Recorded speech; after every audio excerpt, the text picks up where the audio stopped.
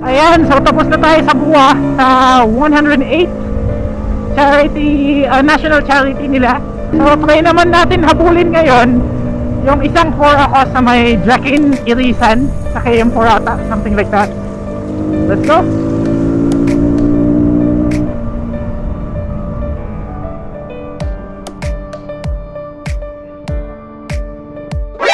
NANI?!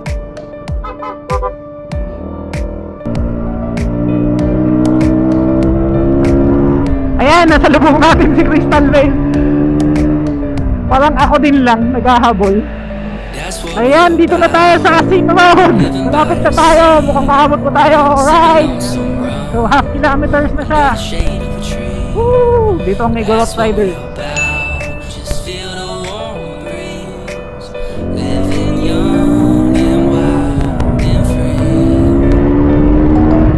Ayan, palis na sila.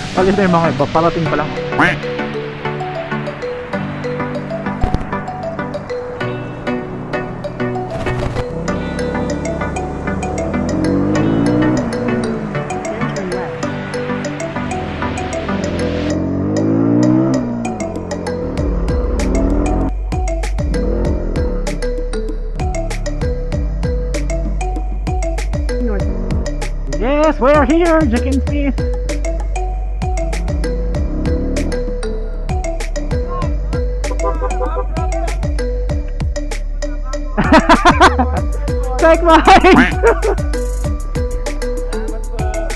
Yan. Lan, lan, lan, lan, lan. Yon, yon, yon. Buti may natira pa. Galing din ako sa kabila eh.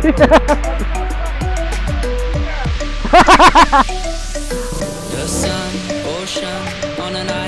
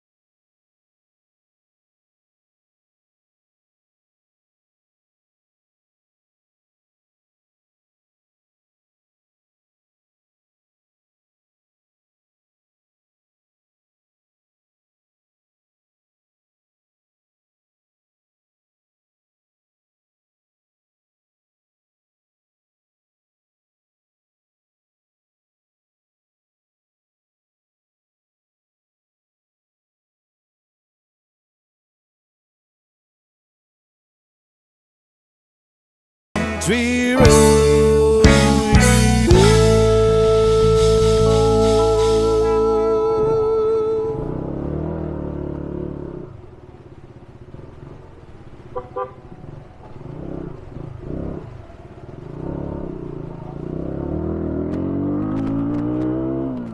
Ayan guys, so congratulations sa mga organizers. Siyempre, at uh, successful both um, 108 national charity um, and then dito sa may as in organized by tawag dito, Igorot Riders. So yeah, successful naman sila both. Uh, apologize kung hindi ko na-meet yung mga iba and uh, sa mga hindi nabagyan ng stickers, uh, sorry. Pero maliit lang naman ang bagyo. So ayan, thank you guys again for watching. Huwag tayong magsawang tumulong ha. Promise, huwag tayong magsawang tumulong. Kasi malay nyo, di ba? Tayo yung nangailangan.